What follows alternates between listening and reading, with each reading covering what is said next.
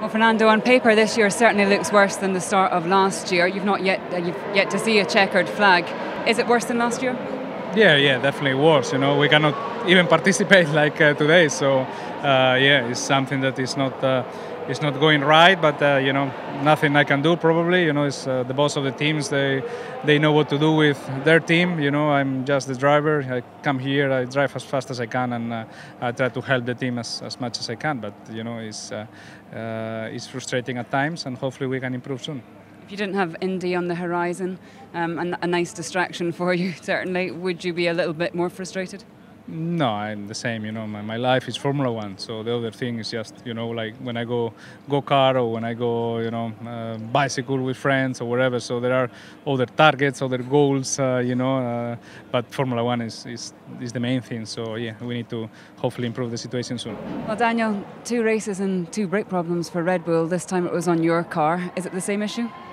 I'm not sure yet. Um, I believe something probably similar. Um, but yeah, we didn't really expect, sure we didn't expect it, but obviously that early in the race as well. So I don't know how much maybe running behind the safety car and, and having two starts hurt that. But um, yeah, it's uh, obviously a bit, bit of a disappointment and just not being able to get many laps today in the race. So it's not something there'd been any indication of over the last couple of days in any of the practice sessions. It's, it's a race specific thing.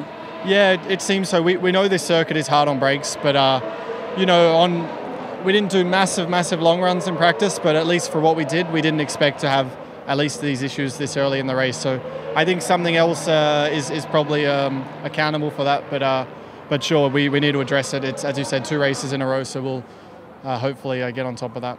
Well, I imagine this is the final straw in a frustrating weekend for you. Um, is this a racing incident, or was it Jolyon Palmer's fault? I haven't seen the footage. To be fair, on, on the first point of view, it's Palmer's fault. I was on the inside it turned into me. Maybe there's someone on the outside, but someone on the inside needs to be pushed on the outside. There's no room in the inside. So I was on the orange curb, had a really good good start. It was really full of hope going in the race, trying to analyze, you know, what we could do better um, and help the guys to work hard for next race and, and see what we could we could really do. Um, maybe it wasn't point today, but you know, it was 53 important laps, and we just got ruined at the first corner. Well, Jolyon, you're obviously pretty frustrated. Just explain the incident from your seat.